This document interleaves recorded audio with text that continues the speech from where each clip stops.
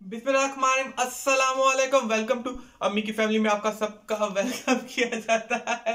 क्योंकि आज मेरी ज़ुबान क्यों लटकर आ रही है? क्योंकि आज एक मज़ेदार रेसिपी के साथ हम आपके साथ पेश हुए हैं। आज एक बहुत मज़ेदार हम रेसिपी बनाए चलिए तो वीडियो को स्टार्ट करते हैं। इसके लिए मैंने मकई का आटा ले लिया है। तकरीबन आधा किलो होगा ये मकई का आटा। आप चाहो तो अगर ज़्यादा बनाना चाहते हो तो क्वांटिटी को डबल कर सकते हैं। ठीक है जी? आधा किलो हम इसमें ले लेंगे मकई का आटा। मैंने इसमें सफ़ेद और पीली मकई दोनों मिक्स करके मैं इसमें ले रही हूँ, जैसा कि आप वीडियो में देख सकते हो। मैंने इसमें एक पाव सफ़ेद मकई और एक पाव जी हमने इसमें पीली मकई दोनों को मिक्स करके हम इसमें शामिल करेंगे। उसके बाद क्या करना है? आपने दोनों को मिक्स करना है। हसबे जायका आप इसमें डाल सकते हो जी नमक। पहले मैं दोनों को मिक्स करूँगी क्योंकि मैंने दो मकई के आटे लिए हैं इसमें, ठीक है? एक मकई का आटा भी हो तो वो भी चलेगा, ठीक है? आप वो भी ले सकते हो। अब मैं दोनों को अच्छी तरह मिक्स कर रही हूँ ताकि दोनों आपस में यकजान हो जाए। फिर उसके बाद मैं इसमें हसबे जायका नमक डालूँगी। और नमक डालने के बाद आपने क्या करना है कि इसको जी नीम गर्म पानी के साथ गूंद लेना है या फिर नॉर्मल जो टैप वाटर होता है उसके साथ आप उसको गूंद लोगे, ठीक है? बहुत ज़्यादा कोई मुश्किल तरीका नहीं है, बेहद आसान तरीका है।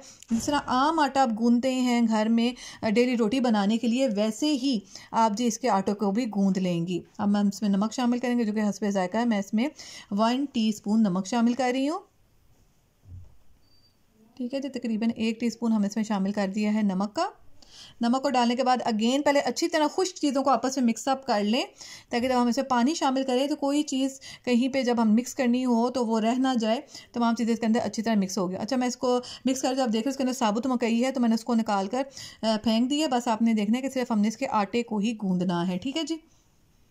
बस जब इसको अच्छी तरह चेक कर लिया। आप चाहो तो छान भी सकते हो। अगर छानना ही चाहते तो हाथों की मदद से आप इसको इस तरह कर सकते हो। दैन मैंने पानी ले लिया और थोड़ा थोड़ा पानी शामिल करके मैं इसकी सख्त सी एक डो गूंद लूँगी। ना ज़्यादा नरम हो, ना ज़्यादा सख्त हो। बस आपने इतनी डो गूंदनी है जितना आप रेगुलर आटा गूंदते हैं घर के लिए।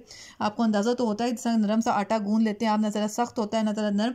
बस आपने इसको वैसे ही इस आटे को गूंद लेना है। जब तक मैं इसको गूंद रही हूँ अभी तक अपने चैनल को लाइक नहीं किया तो लाइक भी कर दीजिए सब्सक्राइब नहीं किया तो सब्सक्राइब भी कर दें और बेल आइकन को ज़रूर प्रेस कर दें ताकि नोटिफिकेशन सबसे पहले आपको मिल जाए।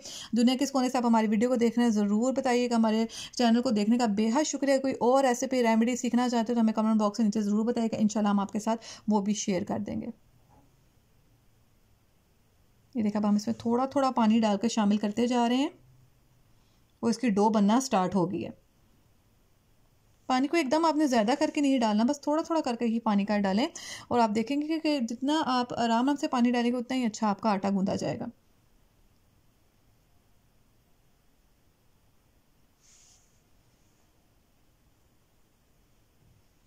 ये देखें बस मैं आपको पूरा तरीका समझा रही हूँ, इसलिए मैं आपको दिखा रही हूँ कि देखें जी, अब हमने इसे थोड़ा सा ज़रा ज़्यादा पानी डाला है ताकि फटाफट इसकी डो बनना स्टार्ट हो जाए, आटा तमाम जी डो की शक्ल में आना स्टार्ट हो जाए।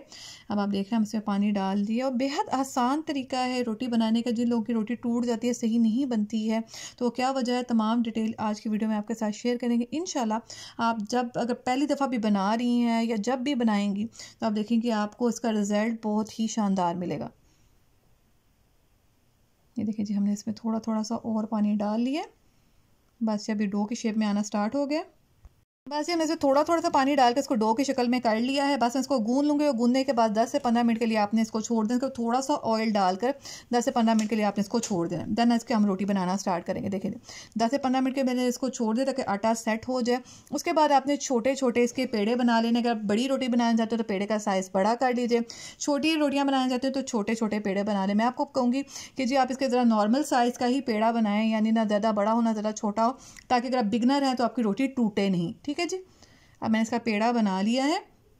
देन आपको क्या चाहिए होगा? ऑयल का पैकेट इस तरह के घर में ऑयल के पैकेट खाली पड़े होते हैं। इनको इस्तेमाल में लाएँ। इसके साथ जी रोटी जब आप बनाएँगे तो इंशाल्लाह आप देखोगे आपके बहुत ज़्यादा अच्छी बनेगी। आपने क्या करना है? ऑयल के जो पैकेट है उसको सेंटर से इस तरह कट कर लेना, जिस तरह कि आप वीडियो में देख रहे हैं, उसके बाद एक पेड़ा इसके अंदर आपने रख लेना है, ठीक है? और पेड़े को रखने के बाद ऊपर से आप इसको बेल लेंगी। ये देखिए एक पेड़ा मैंने इसमें रख लिया। पेड़े का साइज़ मैं आपको अगेन बता दूँ, ना ज़्यादा बड़ा है, ना छोटा है नॉर्मल साइज़ का हमने इसमें पेड़ा ले लिया। ऊपर से इसको प्रेस करेंगे, बेलन के साथ इसको बेल लेंगे। उसके बाद तवे को मैंने गर्म होने के लिए रख दिया उसके बाद मैं आपको दिखाऊँगी इसका नेक्स्ट प्रोसीजर अभी मैं सिर्फ़ इसको बेल रही हूँ। ऑयल के पैकेट को अगर आप इस तरह यूज़ करके बनाएँगे तो इनशाला आप देखेंगे कि क्योंकि ऑयल की वजह से ये टूटेगा नहीं, आपको खुश्का वगैरह नहीं डालना पड़ेगा, क्योंकि क्या होता है, खुश्क आटा, मैदा वगैरह इसके ऊपर जो कुछ भी डाल लें तो ये टूट जाती है। जब हम इसको रोल करते हैं रोलिंग पिन के साथ बेलते हैं, ठीक है जी? आपने क्या करना है कि ऑयल के पैकेट के अंदर डाल के इसको बेल लेना तो आप देखोगे एक भी इस पर क्रैक नहीं आएगा और बिल्कुल नहीं टूटेगा। देखिए माशाला से कितनी ज़बरदस्त किस्म की हमारी रोटी बनकर ये तैयार अब हमने तवे को गर्म होने के लिए रख दिया और तवे पर मैं रोटी को डाल दूँगी। अच्छा जी, तवे पर मैंने साथ ही साथ थोड़ा सा ऑयल भी ग्रीस कर दिया था। दैन ये रोटी हम तवे पर डाल देंगे और फ्रंट एंड बैक दोनों साइडों से इसको पकने के लिए छोड़ देंगे कि ज़रा सी भी रोटी हमारी नहीं टूटी है। बहुत ही ज़बरदस्त किस्म की रोटी हमारी तवे पर चली गई है। इसी तरह जी बाकी रोटियों को भी मैं बेल लूँगी। ये देखें अगेन आप क्या करोगे, इसी तरह इसको रखो इस पैकेट के अंदर देन आप इसके ऊपर रोटी को डालकर बेल लो तो आप देखोगे आपकी बहुत अच्छी रोटियाँ बिल जाएँगी। आपको बहुत ज़्यादा कोई एफर्ट कोई मेहनत नहीं करनी पड़ेगी। ऑयल के पैकेट खाल में खाली पड़े होते हैं, इनको संभाल कर रख लें आप रीयूज़ कर सकते जिस दिन आपने मकई की रोटी बनानी हो तो आप देखोगे कि आप इस तरह बेल लोगे इसको तो आपको बड़ी आसानी हो जाएगी। ठीक है जिस तरह आप इसको बेलते जाएँ, चाहे तो उसके ऊपर एक और रखें, इसके सेंटर में रख के इसको रख लो तो उसकी राउंड शेप हो जाएगी। अच्छा अगर आपके पास इस तरह को ऑयल का पैकेट वगैरह में यूज़ नहीं है, आपके पास बॉटल वगैरह होती है घर में होता है ना, कि डब्बा या बॉटल वगैरह यूज़ की जाती है पैकेट नहीं होता तो आपने क्या करना है कि इस तरह के शॉपिंग बैग बाज़ार से बड़ी आसानी से मिल जाते हैं, घर में जैसे सौदा वगैरह आता है, उसको आप ले ले, लेना, ऊपर से उसको ग्रीस कर लेना है ऑयल के साथ देना उसके ऊपर आपने पेड़ा रख देना है। एक और शापर लेना है, जिसके ऊपर मैंने ऑयल लगाया हुआ है पहले से ही, इसके ऊपर इसको रख दें और उसके बाद इसको बेल लें ऊपर से। ये तरीका भी मैं आपको बता देती हूँ, ये तरीका भी बेहद आसान आसान तरीका है। दोनों में से जो तरीका भी आपको पसंद आए, आप फॉलो कर सकते हैं। इन दोनों तरीक़ों से ये बहुत ही ज़बरदस्त किस्म की रोटी बनकर तैयार होगी। आपको यकीन है, अगर फ़र्स्ट टाइम भी बना रहे हैं तो इन शाला इसका रिज़ल्ट हंड्रेड परसेंट मिलेगा। ये देखें, मैं इसको बेल रही जितना चाह रहा है, मैं इसको बड़ा करना चाह रहा हूँ तो बड़ी भी हो जाएगी। अगर मैं छोटी रखना चाह रहा हूँ तो छोटी भी रख सकती हूँ। बस आप इसको बेल लेना है और आप देखोगे कितनी आसानी से, बिल्कुल भी इस पर कोई क्रैक वगैरह नहीं आएगा, बिल्कुल नहीं कोई टूटेगी रोटी।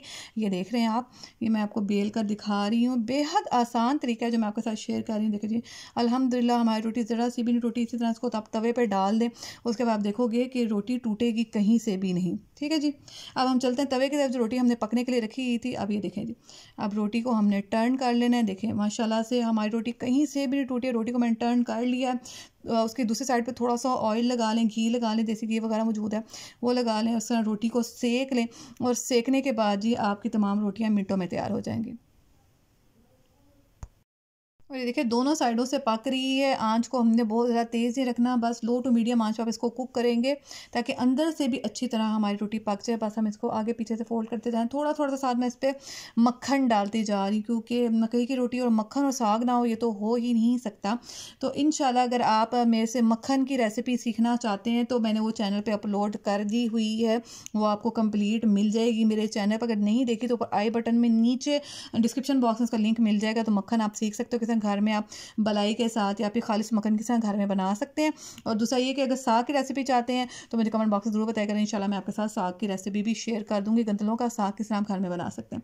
अभी तो मैं आपको मकई की रोटी बनाना बता रही हूँ। बेहद आसान जी तरीका है। देखें माशा से रोटी बनकर हमारी बिल्कुल तैयार हो गई है और सारी तरह ढेर सारी रोटियाँ बनाती जा रहे आखिर में जी मैं इसको मक्खन के पेड़े के साथ और सरसों के गंदलों के साग के साथ बनाऊँगी। ऊपर इसमें डालूँगी थोड़ा सा मक्खन और बहुत ही ज़बरदस्त किस्म की सर्दियों की सौगात है।